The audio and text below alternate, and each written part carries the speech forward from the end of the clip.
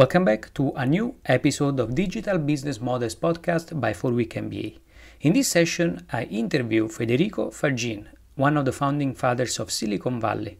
He is the author of Silicon, from the invention of the microprocessor to the new science of consciousness. Federico actually led a project in the early 70s at Intel that would change and open up the whole PC industry as we know it today. He actually designed a chip, especially in 1974, called the 8080, which was a game changer. I remember reading the first time the name of Federico when I was reading in 2012 the memoir by Paul Allen, the co founder of Microsoft. And he explained how this design by Federico Faggin actually made the whole industry possible. I remember that with PC, the whole software industry became viable in the first place. So, this was really a turning point in the history of Silicon Valley. With Federico, we reconstruct the history of the microprocessor, the role that he played, and how it actually was the, the leading component for this technological revolution. We also go through his uh, story of how, when he left Intel, he founded other companies from Zilog to Synaptics, and he would end up working on other technological projects that managed to change whole industries. Also, uh, later on, he jumped on the topic of consciousness. And he did that as uh, someone who had worked for years on the transistor, who, let's remember, uh, as uh, dynamics that uh, uh, work based on quantum physics. So he understands the logic of quantum physics and interaction between quantum and classical physics, and he explains to us what's the difference between a human and a machine. What makes humans humans? Actually, it's consciousness, as we'll see and why when we actually talk about AI, we need to be careful. And we'll see all of those things in this session.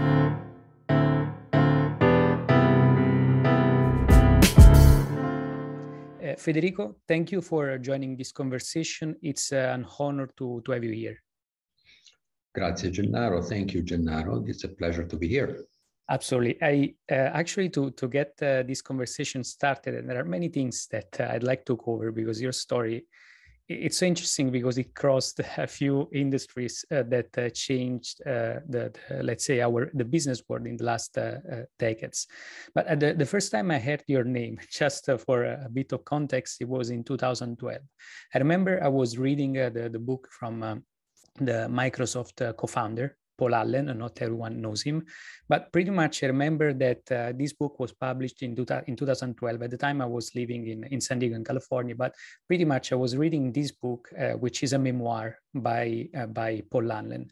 And in introduction, actually, he mentioned how uh, the, the project that you were working on back in the days, it was 1974, the, the, the um, 8080 would actually, the 8080 chip, which we'll see throughout this conversation, actually changed and created a whole industry. And it created actually, it created the context for companies like Microsoft to thrive in the first place.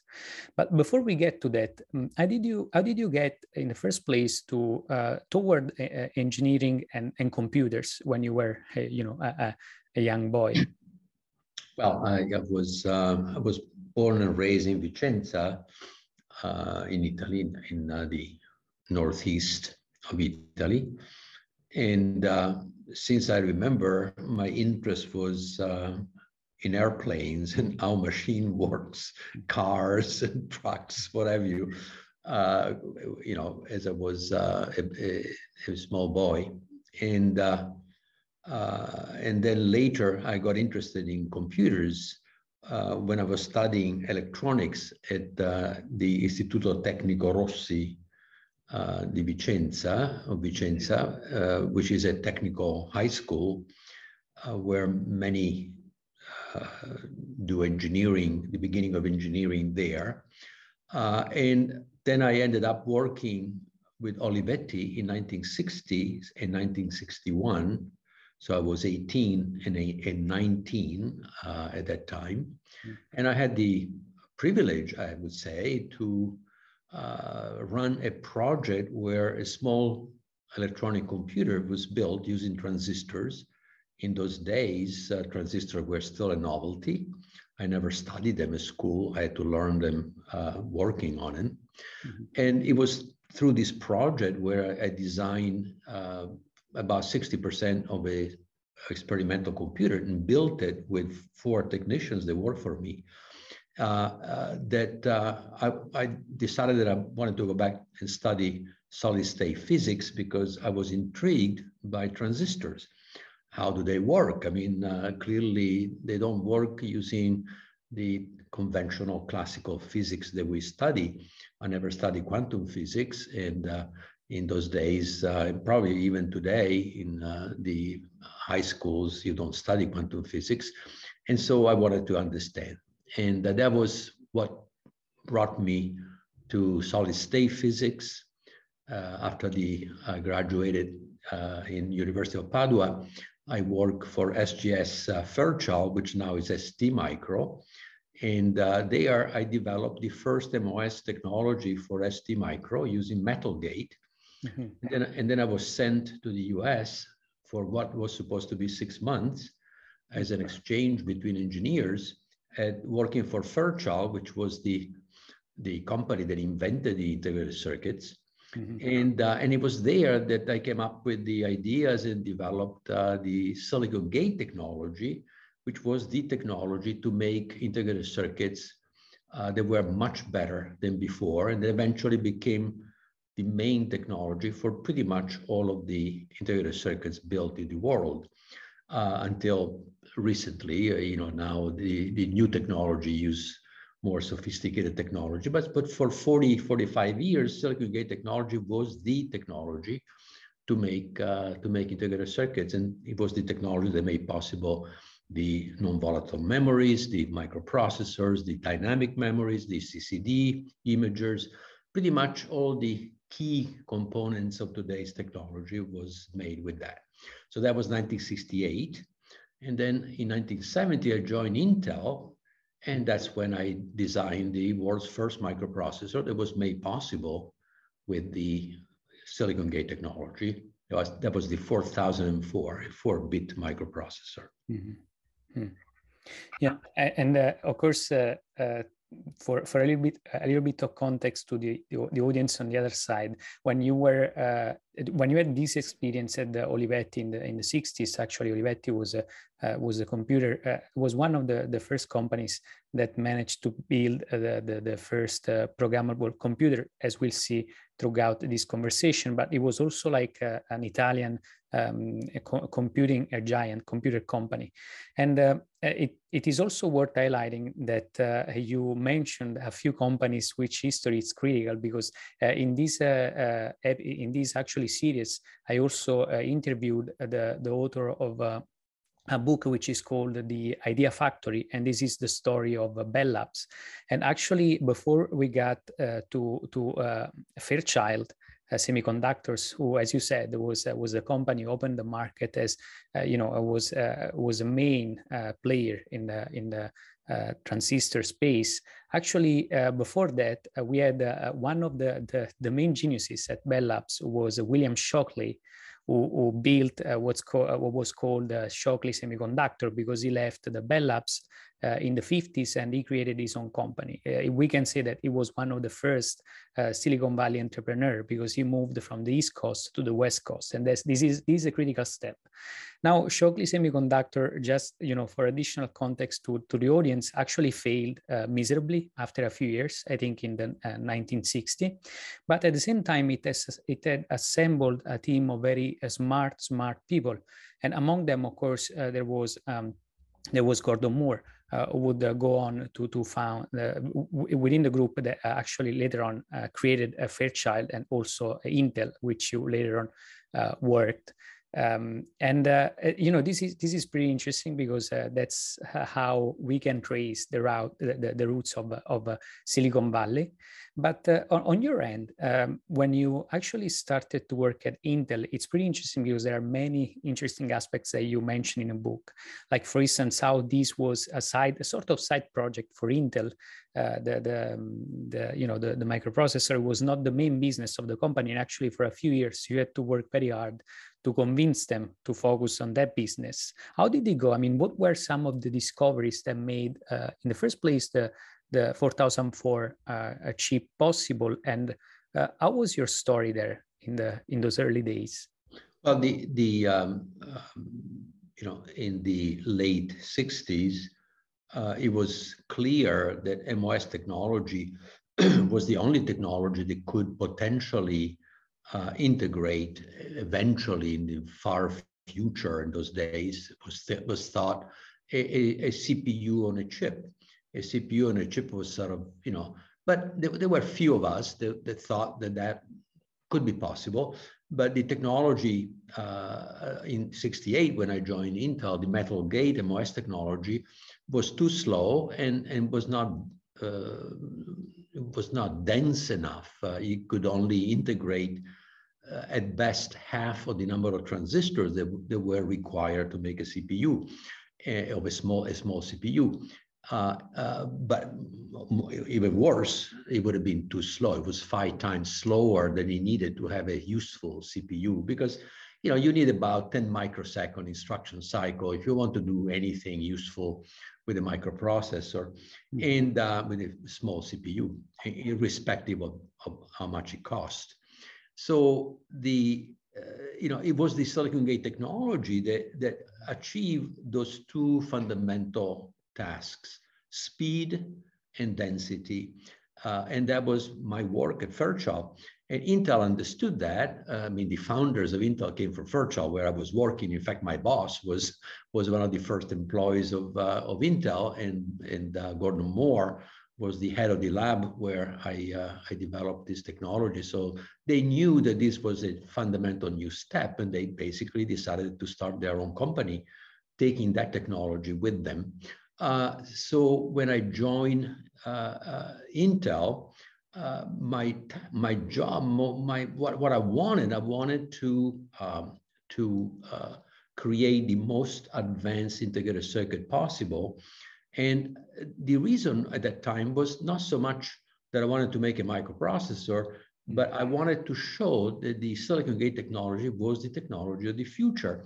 And uh, uh, Fairchild did not uh, adopt the silicon gate technology immediately because uh, we couldn't do the bootstrap loads with, uh, with silicon gate, which uh, was a, an important circuit, the circuit that was necessary for the way that logic circuits were done in those days. And it was only after another year of work that I figured out how to do it. So, so Intel, when Intel was formed, they didn't know that you could do the bootstrap load either. Mm-hmm. And, uh, and their, their task was to do memories, which could be made with Silicon Gate uh, in those days, but uh, not, not, not, not, not much, much more. And, uh, and so when I decided to leave it was the time when I had developed the, the bootstrap load, and I wanted to now make the most complex circuits possible. And it was at Intel that they had already a, a custom project going, but they didn't know how to do it. So it just happened to, you know, to end in my lap, so to speak. And I had the technology to do it, which was the silicon gate with the bootstrap load and with the buried contact, which is a way to make direct contact between the polysilicon and the junctions so that uh, you could make very dense uh, uh, random logic integrated circuits. So that was that was the story. So I did not I did not go to Intel with the idea of making a microprocessor, though the idea was already in the air. I mean, there were people that had already made uh, CPUs with a number of chips. But if you make CPUs with a number of chips, uh, they are they are too slow, and uh, you know or if if you want to make them fast you have to use a lot of power and so that can be done uh, only if you you know if you make special circuits you know systems for you know for military or military things or a computer for your own you know to, to sell the computer in other words you know not for commercial application so so um, uh, so and the and the customer was a Japanese. The customer of the first uh, microprocessor, in fact, it was a family of chips, was a Japanese customer. They wanted to make uh, a set of chips, of which three chips were supposed to be a CPU, and uh, and uh, at Intel. Uh, uh, the, the, the head of the application group saw an opportunity to actually using Silicon Gate to actually combine those three chips into, you know, into a single one by, uh, by using random access memory instead of, instead of uh, um, serial memory, which was the memory used in those days. There was no no dynamic dynamic RAM in those days. Intel was just beginning to develop those, and so so everything was ready for me to actually do the microprocessor. So when, when I when I joined Intel, was already six months late because they couldn't they didn't know how to do it. So they, this the project was sitting there. I picked up the project, and then uh, nine months later, we had a microprocessor and the other three chips. They were the ROM, RAM, and the I/O.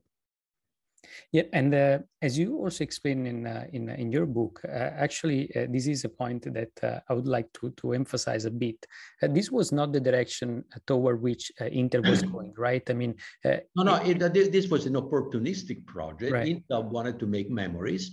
They have identified properly so that that uh, the um, magnetic core memories, which were the way memories were made in those days for large computers and also for mini computers, uh, were too expensive and and uh, and too slow, and this and the technology, the MOS technology, was really uh, ready to overtake uh, that technology, and so they had picked their sight on that market.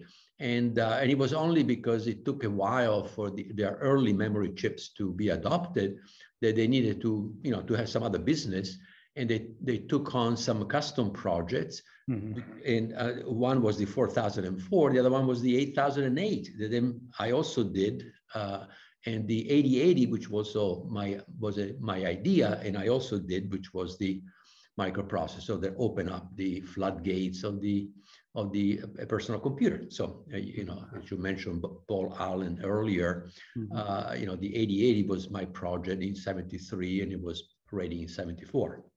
Yeah, and uh, you know, just for a little bit of context to the audience, the 88 wasn't just a, a you know a little improvement on the previous uh, chips; it was like a huge leap forward, right? Yeah, it was six times faster than the 8008 because uh, in, in those days, Intel had this uh, you know this idea that they had to use only uh, packages of uh, 16 pins or 18 pins, which was frankly crazy, but that's the, that's what they thought. And it took me a while to convince my my boss to to first of all i came up with the architecture of the 8080 which was a big improvement over the 8008 and uh, uh, and uh, a different a different architecture that would they use 40 pins that would allow to really get the speed that was necessary. So we went from 12 microsecond access time to 2 microsecond mm-hmm. access time for the 8080 and that was enough to make a personal computer. Yeah, yeah, and uh, uh, going uh, a few steps backward, and uh, just again to to give the audience a, full timeline, and then we move forward. Uh, when when the the, fir- the first transistor was actually uh, you know invented, I guess at at Bell Labs it was an interesting invention, but in reality, it wasn't. Uh, uh, I guess there wasn't much that you could uh, do for uh, for computing uh, with, with that kind of transistor. So there were still many things that needed to be done. One of the main proponents of at Bell Labs of uh, transistors, of, co- of, course, was William Shockley, as we said. Shockley left Bell Labs, created the, the Shockley semiconductors, which actually assembled a, a, team of very smart people, among which the people that would create the, the next wave of, uh, of um, giants in the in the uh, microprocessing industry. But the interesting part is that uh, um, also Shockley was uh, hooked, as uh, we saw also in the episode related to Bell Labs. Uh, it was actually Mm, he, he, thought that uh, the the um, the technology that would have changed the industry would be like the the one uh, connected to the germanium, but um, as you actually explain also in the book, the real uh, jump forward was made uh, when uh, the the silicon gate technology uh, came uh, came to life, yeah. and uh, so from from there we see the the birth of of a few companies from as as we said from Fairchild to Intel, and then going forward to other companies like IBM, Compaq, Microsoft, which gave rise to the next wave of develop development of PCs which uh, uh, you know would come to the masses together, of course, with Apple, and going forward to the internet and all the other waves that we live in today. So sorry for for going back again, but I think it's very important to stress how important the, the, the, this moment was from an historic standpoint. Uh, and then you left uh, Intel. Uh, of course, um, what happened there? Like, why did you eventually uh, leave the company? Uh, what did you do next? Well, uh, you know, just to to complete the discussion that you started, yep. you know, uh, the the first transistor was a point junction transistor, so point contact transistor. Sorry, there was, uh, you know, it was pretty pretty useless, but but it was a proof of concept and it was done in 1940 in 1947. So mm. so and it was Shockley, one of the co-inventors, and also you know Nobel Prize winner together with the other two, Bardeen and Brattain. Mm. And uh, uh, but then it took another five years before the first junction transistor using germanium, which was the same material of the original transistor, mm. uh, came to market. And those were the diffusion transistor. Uh, but germanium was too slow and also suffer from thermal runaway. So, you know, especially power transistors could could basically burn themselves up if you were if we are not designed properly and properly ventilated. Mm-hmm. so so it, it, was really a technology looking for a better way of doing it. And it was really with the with the silicon transistor, which was essentially developed by Fairchild. Shockley did not do that. Hmm. Shockley started the, you know, started in that direction, but uh, but but uh, Shockley, uh, Bill Shockley wanted to develop something closer to a thyristor, which was a, a different kind of transistor with negative uh, resistance. It was not a really a good idea.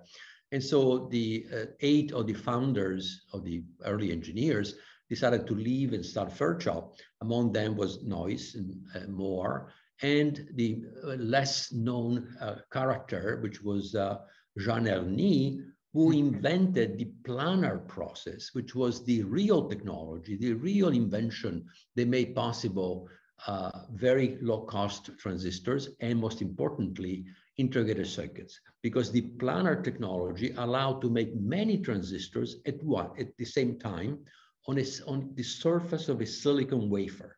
Mm-hmm. You know, so instead of making one transistor at a time, which was the way they were done in the past, you could make many. And then because they were one next to each other in this silicon wafer, you could connect them together. So it was, it was that was the seminal invention, and it is now told very well in the history. Uh, Jean Hoerni, uh, you know, was a Swiss engineer. Then he went his own way, and and he basically is kind of forgotten. But uh, but really, he's the guy that made this seminal invention that made that changed the industry because integrated circuits, of course, made possible to make many transistors, connect them together at the same time, and eventually now we make you know tens of billions of transistors, even trillions of transistors in the uh, flash memory that you have in your pocket.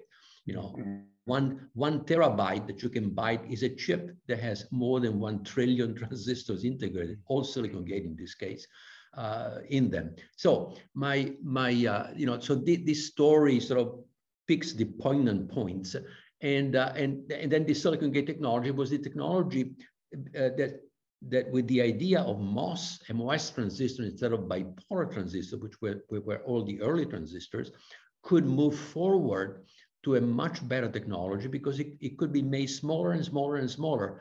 Moore's law was fueled by the fact that you, the, the, these MOS devices were surface devices that they could shrunk in size. And as you shrunk the size, they were faster, cheaper, and also uh, also um, you could put more on a, on a chip. And, and that was the the the key the you know the key technology that moved forward for the, the following 50 years the industry. So to, back to intel after the the 8080 uh, I decided that uh, because Intel was, you know, they were a memory company. They wanted to make microprocessors to sell memories. They didn't see the potential of uh, microprocessors. And and you know, it took me nine months to convince my bosses to let me do the 8080, which was the product that really, you know, made a big turn in microprocessor because for the first time you could have two microsecond, you know, instruction cycle. Uh, they were, you know, they were close to mini computers at that point. Mini computers were around, uh, you know, one microsecond, half a microsecond instruction cycles in those days. So, so all of a sudden you have you have a real step forward. And I decided to start my own company. So I started Zilog, and Zilog developed the Z80. That was my other idea. Uh, and came out, the Z80 came out in, uh, in 1976. That Z80 had, it was an improvement over much, much big improvement over the 8080. Uh, it was a, it was a set of chips that uh, with which you could build very powerful uh, personal computers and computers systems and control systems uh, at one microsecond access time as they came out, and they you know you could do, you could do better later on, but but you know that the, the Z80 actually was a very powerful microprocessor. It's still in volume production today, by the way, hmm. 45 years later. So hmm. so, so uh, it, it it is uh, it is one of the you know it is like a Volkswagen that, that had a long a long life. So so that was my next uh, move was to start uh, my first company. And, and so I, I moved from a engineering essentially, you know, uh, uh, to entrepreneurship. I became a, an entrepreneur, and uh, the rest of my business life was uh, was as an entrepreneur. Hmm. A couple of points which would be nice to to touch. Um, first, uh, why do you think it took so long for for Intel? Uh, to actually realize the potential of of the the microprocessor the microprocessor and I guess it was also um, more like of a, of a business um, you know issue where they were focused on uh, uh, where the revenue was so not able to really make a shift toward a very innovative direction well you know it took it took a while for the mm-hmm. microprocessor to reach uh, the, the business level that, that, that memories were, you know, because mm-hmm. memories became uh, dynamic memories became highly successful, and uh, and so the business of dynamic memories was uh, was much bigger than the business of microprocessor early on. And it was really, uh, it was really because of IBM that mm-hmm. Intel then decided to change course. Actually, two reasons. IBM, the fact that IBM adopted the 8086 of Intel, or 8088, uh, which is a version of the 8086, uh, but also, even more importantly, because the Japanese uh, developed uh, dynamic memories that were much more reliable than the American uh, manufacturers. And the Japanese started taking over the market, uh, and Intel was in real in real trouble. If Intel did not have microprocessor in those days, I'm hmm. speaking about 80, 83, 84, uh, Intel would have probably, you know, mm, fail. Might, you know, uh, for example, um, Mostek, which was a, you know, a major producer in those days of uh, dynamic memories uh, actually failed. It was a company that was doing very well, but uh, you know they could not uh, overcome the the competition of the Japanese, and basically the company failed. The company simply you know uh, went went went down went went down. So. Uh, at Intel in, in 84, they had they, they had to make the decision that they had to concentrate on microprocessor uh, because they were losing their shirt on, on dynamic memories. And, and uh, so they were lucky that uh, IBM had adopted them. As you remember, the mm-hmm. PC was 1981. Uh, so the, the PC was really a major development in the informational industry like the you know like the the um, the silicon technology was for the industry because it it changed the course of the of the industry and uh, and the the IBM invent you know the IBM development of the personal computer was uh, was what uh, changed the the history of, uh, of, of, of, even the of even of the of the personal computer. It wasn't Apple that did it at that time. It was really IBM. Their adoption changed the landscape, and and the personal computer became a business tool in addition to a consumer good. Uh, and it was uh, then Intel, their leadership that run, the, you know, run as fast as they could to keep the competition for catching up with them uh, and drove the industry for the following 25, 30 years. Hmm. Uh, so so that that's the that that's what happened. Uh, and uh, um, you know, and it was only, you know, Apple in fact was uh, almost, you know, done if it wasn't because uh, Steve Jobs, you know, went back to Apple and uh, his vision was so powerful that it basically it, changed the industry again.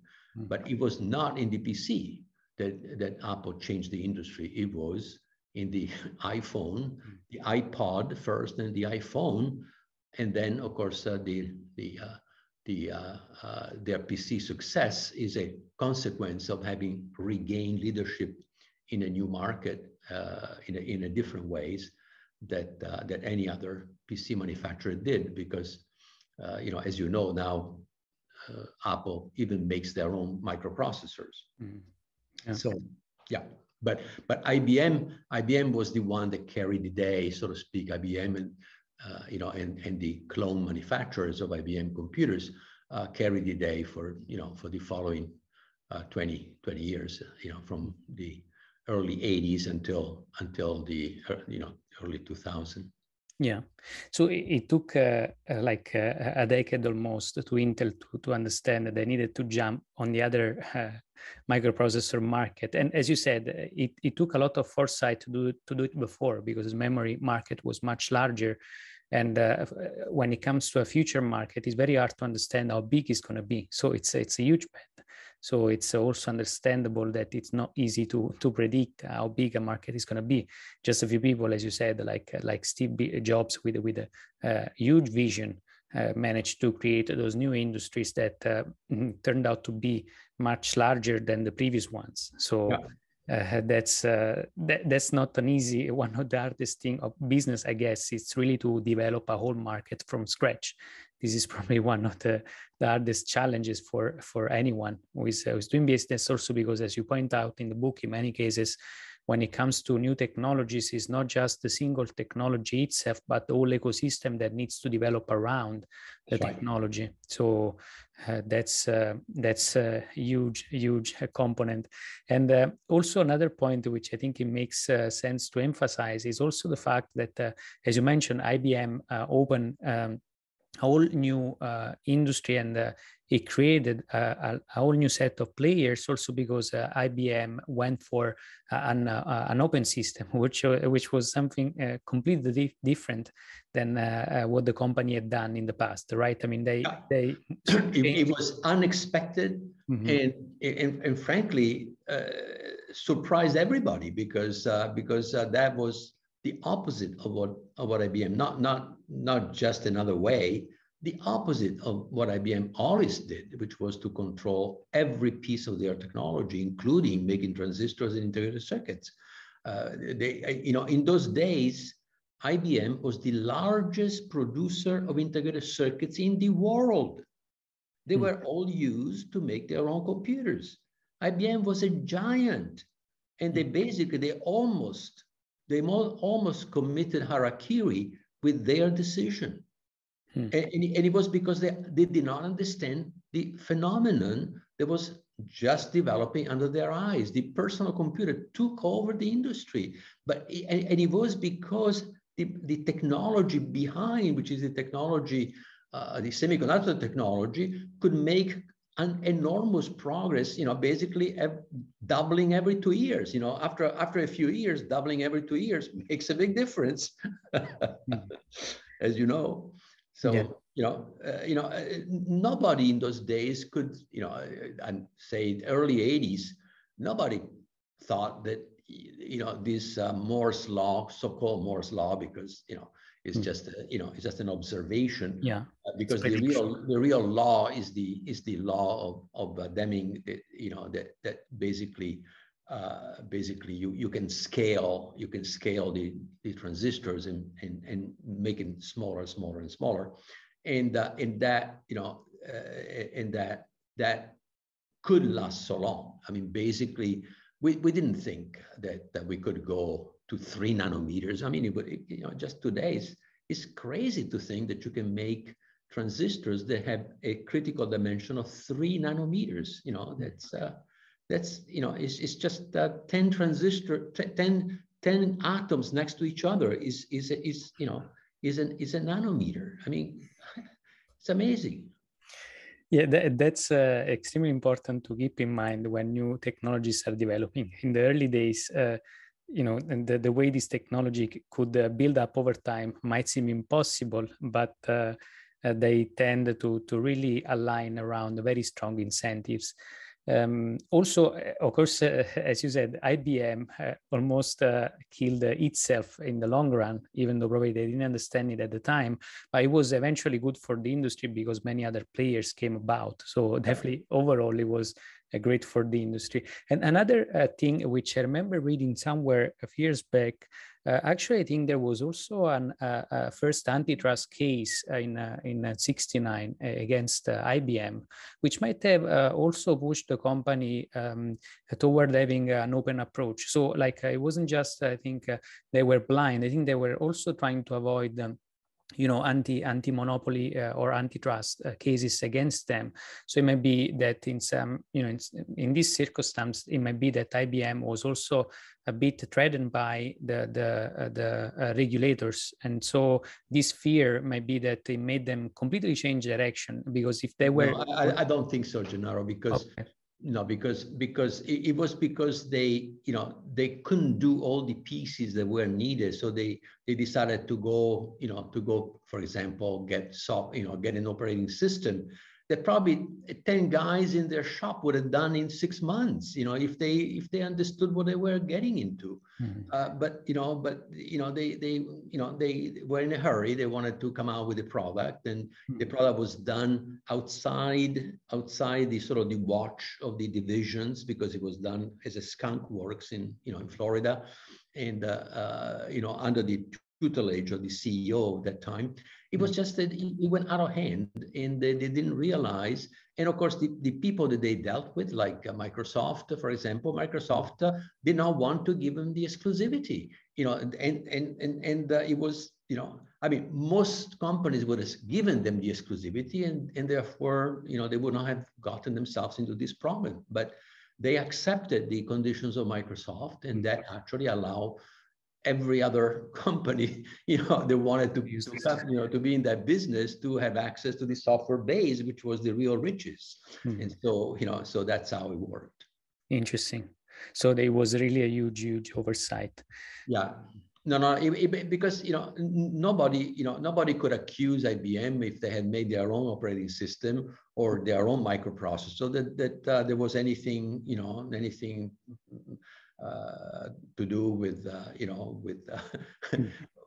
you know not being open you know in the industry it was is, is what anybody would do in those hmm. days would have done those days it was just a you know it, it just they just didn't understand what was what they got into yeah, and most probably they also thought that this was still like a hardware uh, game, not really a software. Uh, absolutely, absolutely, and and because in those days software was not a business to speak hmm. of as a, as a software business. I mean, it was more of a custom thing, or you do your own, and that's about it. There was not a market for software.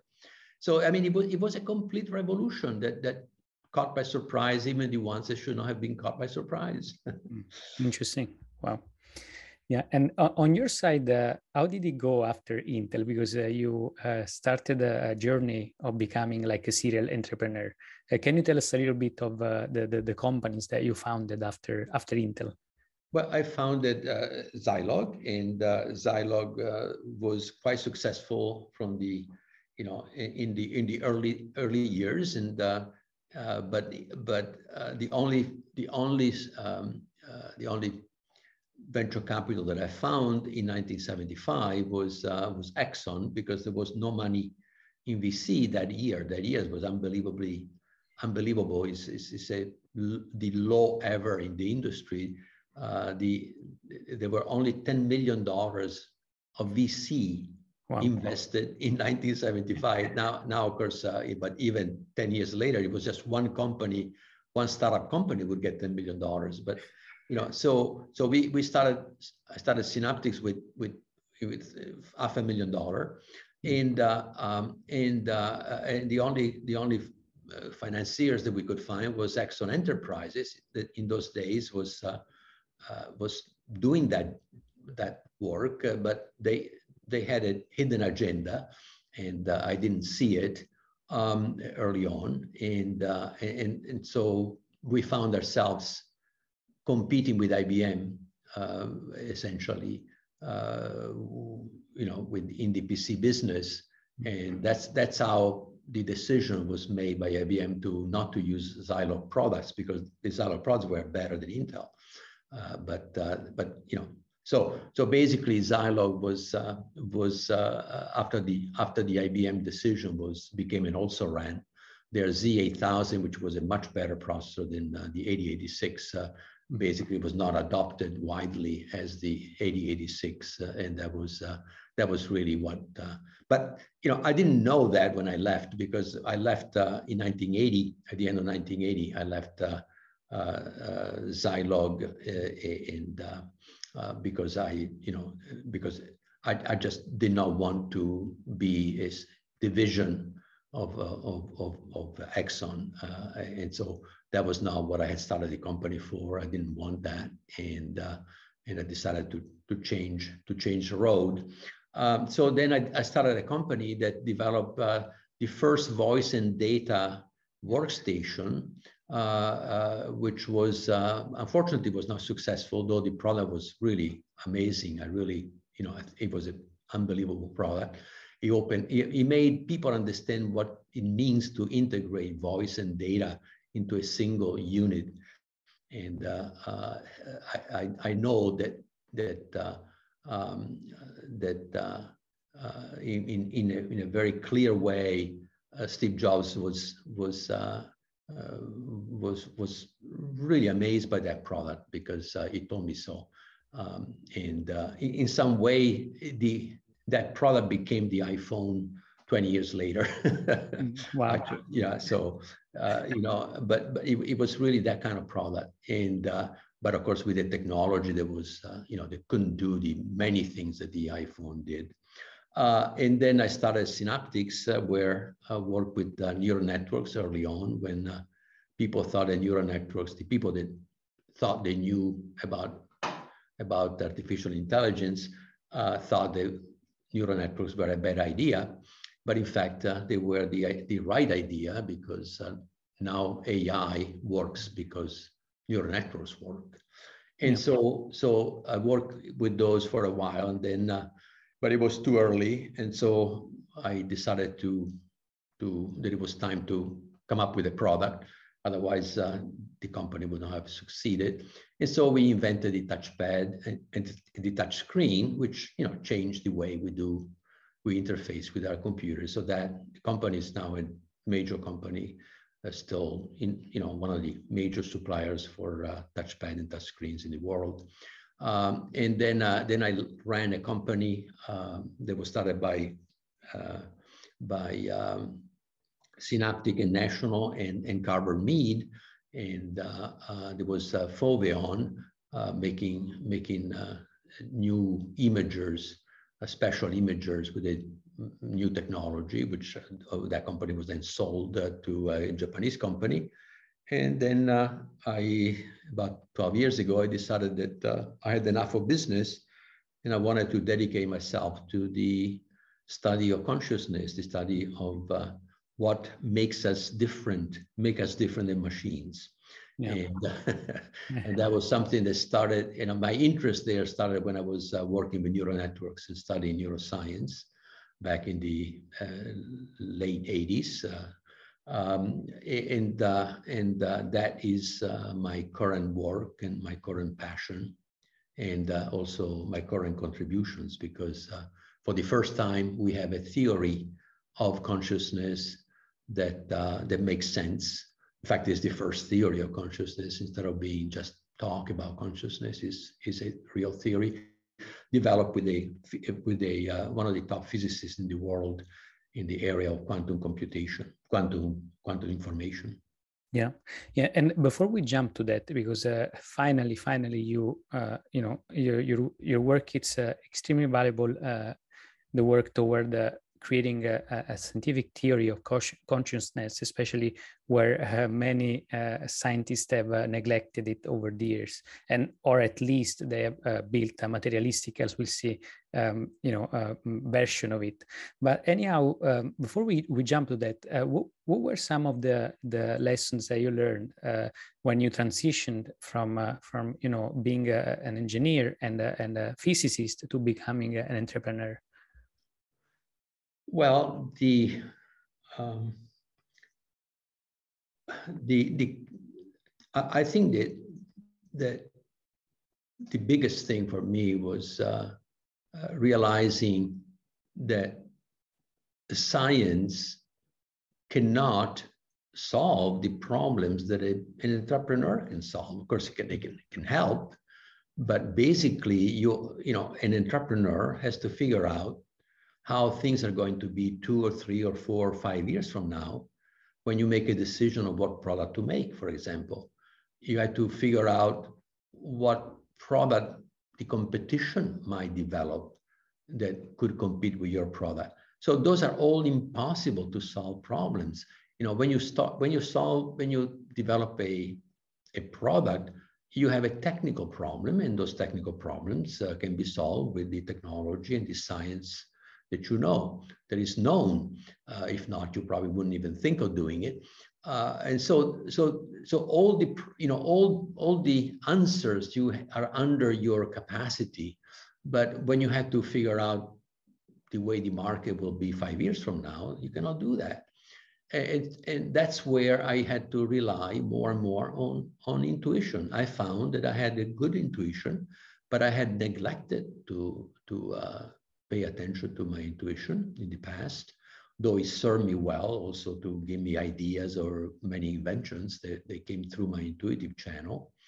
Uh, but you know, with when you had to, you know, to run a company, uh, intuition is even more important uh, because uh, you had to do many things that you never did before and never even thought before, and uh, and for, and that was intoxicating almost. You know, it was great. I mean, I, I loved it, even if it was uh, uh, quite stressful at time, because uh, if you don't know how you're going to pay your employees, it's very painful.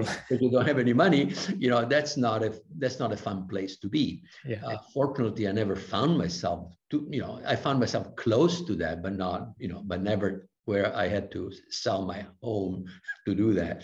So, but I, but but but you know, uh, I I I would say that the the job of uh, running companies, starting companies and running companies, uh, was a, com- a complementary to my technical ability. In fact, he used my technical ability, but but he developed parts of me that I didn't know I had uh, I call him uh, the belly part, you know, the courage, taking risks, you know, doing things uh, that you don't know whether they are going to work or not, and generally being successful at that. So, so um, I grew up a lot through that process, and uh, I look at life as a as an opportunity for growth more than an opportunity to make money. And so for me, uh, being an entrepreneur for 30, 40 years, uh, has been uh, really lots of fun and lots of learning. Uh, and in fact, uh, that's what brought me to also open my heart, which is not what you would expect from an entrepreneur, but that's what happened. And that's and that was the third piece that was missing. Uh, head, heart, and belly are the three parts of us that need to, you know, to come into harmony and develop so that we are full human beings.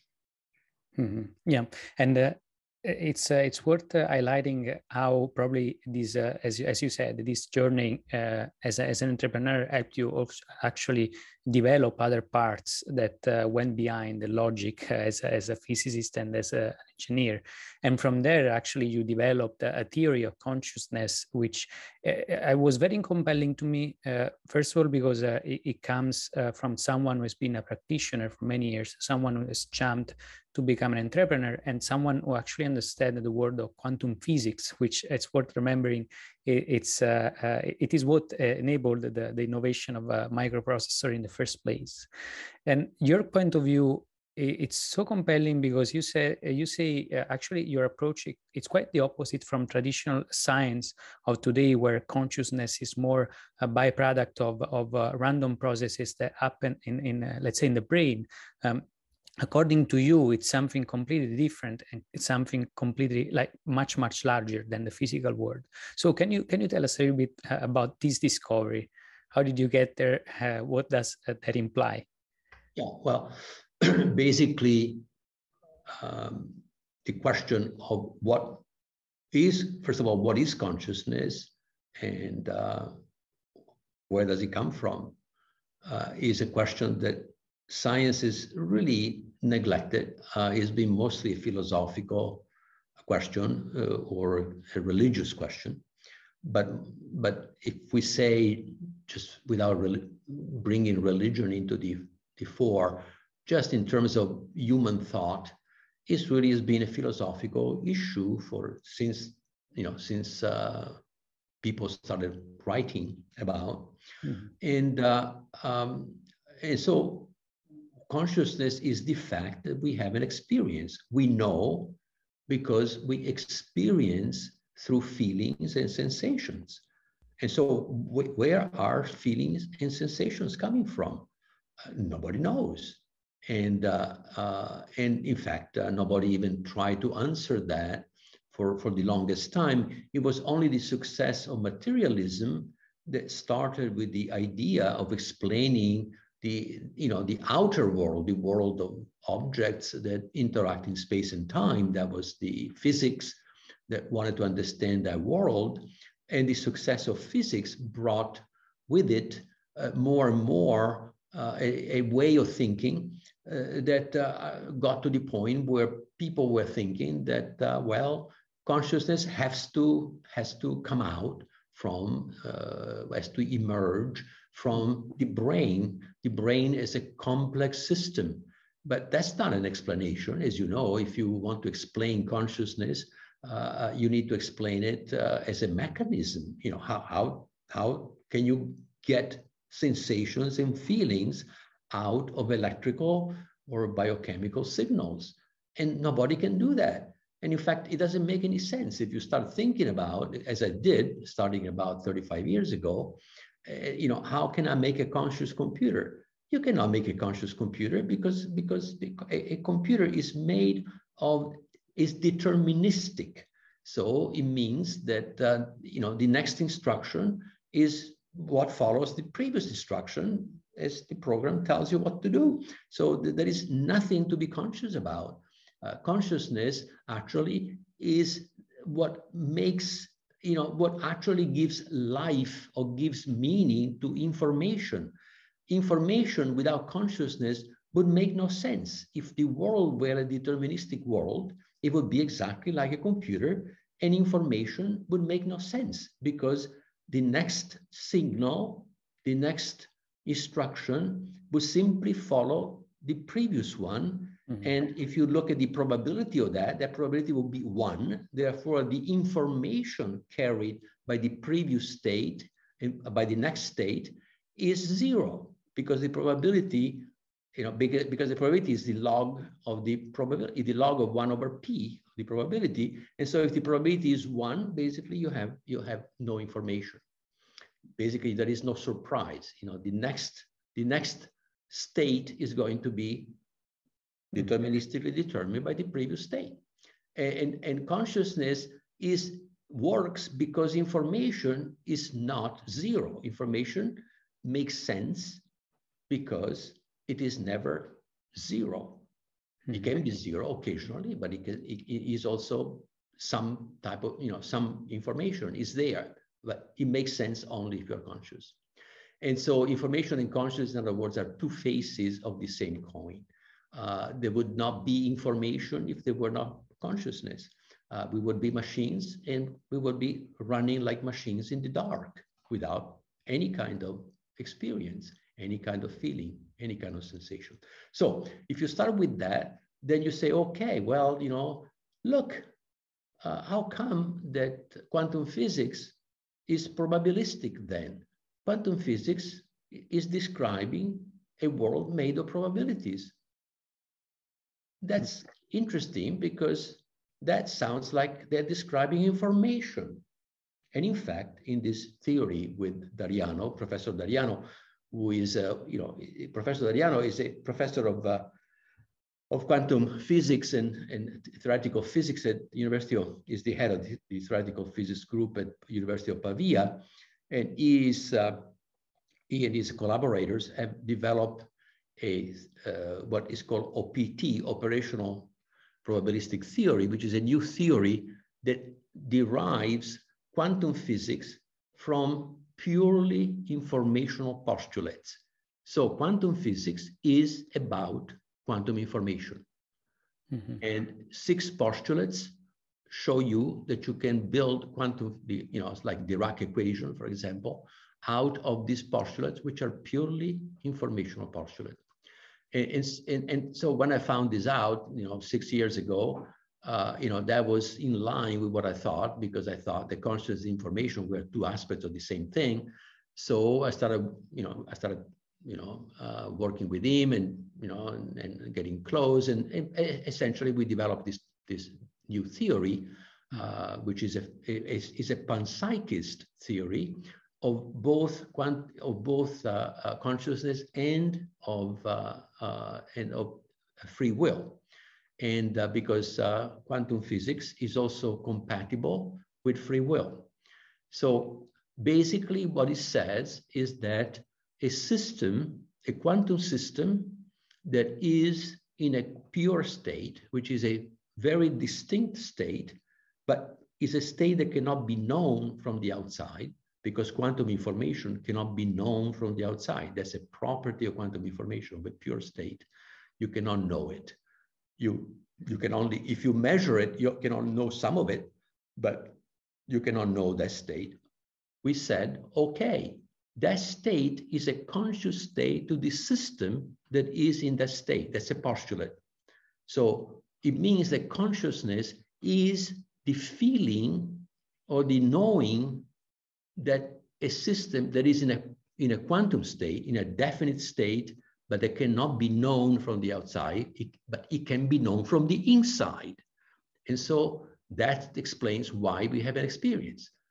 You see, in other words, our experience is because we are because our consciousness is a quantum system. It does not even exist in space and time. It exists in a vaster reality, mm-hmm. which is the reality from which there will be, according to physicists, the collapse of the wave function that shows some form of information, which is classical information, into the space-time from a world which is vaster that can only be expressed or, you know, or described using uh, uh, using Hilbert space, which is a space of n dimension and very large number, uh, and each dimension is a, is a complex number. So it's a very abstract mathematical space that describes states that have this property that can they cannot be copied.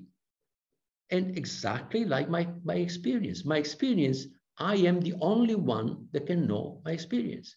I can tell you what I'm feeling, I can tell you what I'm thinking, but you cannot know my experience and I cannot know yours.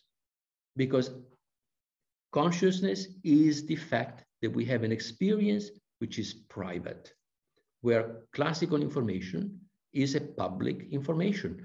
You can take the information of a computer, you can copy it into another memory. So a computer can never be conscious because it has no privacy.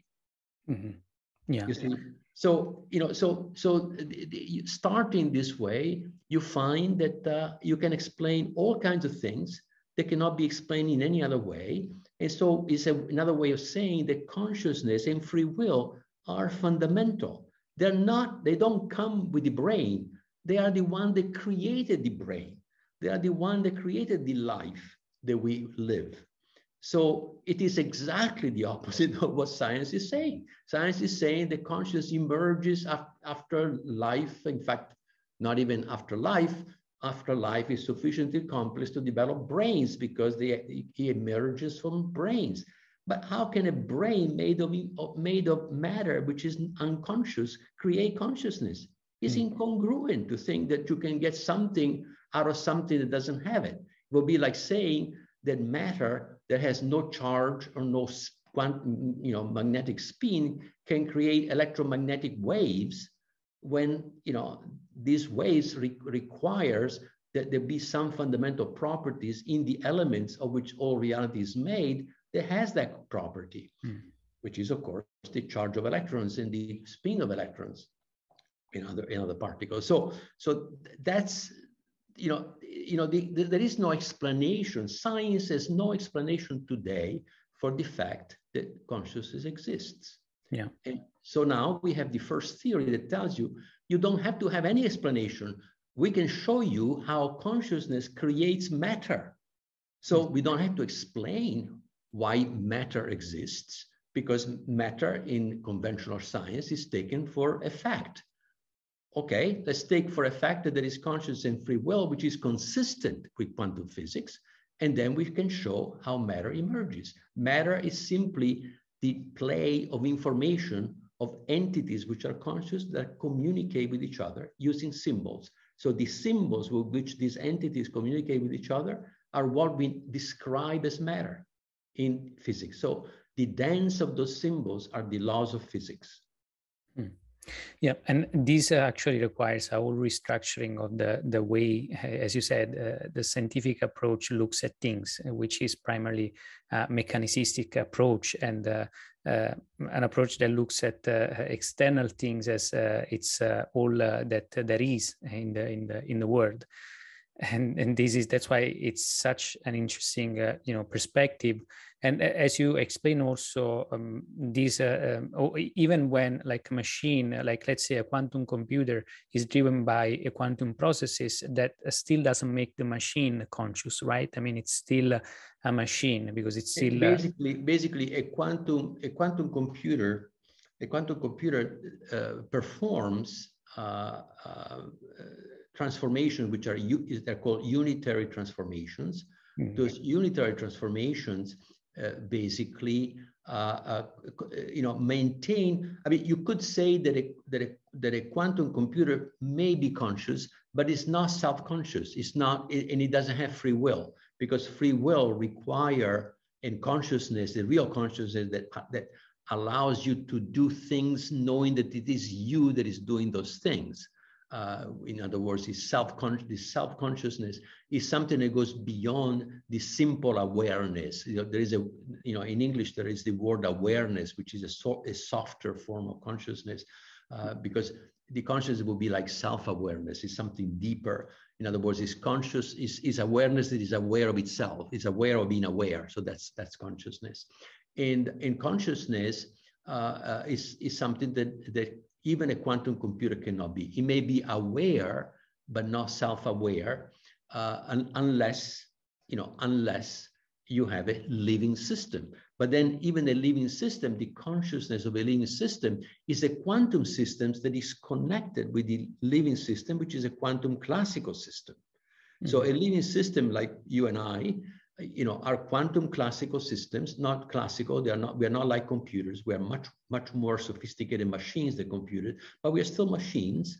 But we are controlled by a conscious entity, which is who we really are, which is not the body. So our conscious is not in the body, just like when you, you know, uh, drive a drone, you control a drone, your consciousness is not in the drone, uh, you know, uh, nor in the, you know, right. nor in the program of the drone. I mean, the drone is something that is controlled by you, and and but you are not you are not in the drone. And in fact, even the you that controls the drone is another body, but is a quantum classical body instead of a classical body like the drone uh, that is controlled by a quantum body, which is a real consciousness. So when, when the body dies, we don't go anywhere. We are still where we are, which is in, in this other reality, which is deeper than physical reality, which is today explained via the uh, Hilbert space, the, mm -hmm. the, the quantum, quantum systems in Hilbert space.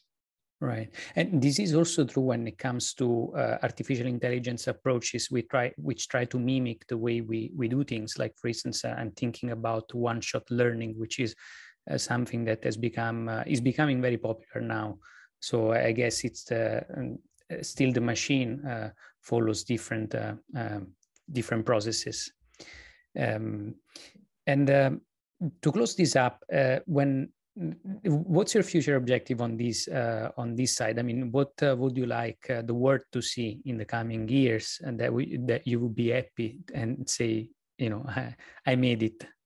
Yeah, what what what I would like uh, people to take seriously these ideas uh, because this idea will change our com- completely change our worldview. We today we are told that we are machines, and if we are machines, then we can be superseded by machines that are more intelligent than we are. Mm-hmm. So you know it is true that if we are machines, the machines could turn against us, but we're not machines. And so you know, but if we think that we are machines, we're going to behave like machines. Mm-hmm. And, and they, they, you know, we are in this, we are caught in this mirage that we think that we are machines because it looks like that we are machines. But if we actually begin to think about, experience who we are, learn about ourselves, quiet our mind, and figure it out, then we can find that we are, you know, much more than machines. In fact, living systems are much more than machines. We don't know how to build a living system. We do not know how to assemble a living system. We start with life, we screw around with it, and uh, you know we get other life, but we cannot put together the pieces like we put together the pieces to build a computer. And uh, and and the fact is that uh, even even living systems are not sophisticated enough to be conscious on their own they need, but they, they can be connected with conscious beings so that they're like the drones that we are they are connected with our body that behaves like a classical computer when they talk to another computer like a drone. And so so you know so th- there, there is there is a three levels of reality. There is quantum reality. There is the quantum classical reality which is the reality of our body that can be controlled by the quantum world. And then we can control classical systems like computers and drones. And so hmm. that's the way that reality works. And if we if you begin to think in those terms, then the, the universe has meaning and purpose, which is not what science is telling us today. And hmm. that's a big change of mind. Yeah, yeah, absolutely. And of heart. And of heart. Absolutely. Huge change. And especially this is a change that will make technology really enhance humanity rather than try to destroy it. So it's it's extremely important. Uh, thank you, thank you, Federico, for for taking the time. It was really a pleasure, a huge honor, and thanks, thanks again. Thank you, Gennaro. It's a pleasure for me too. Thank you.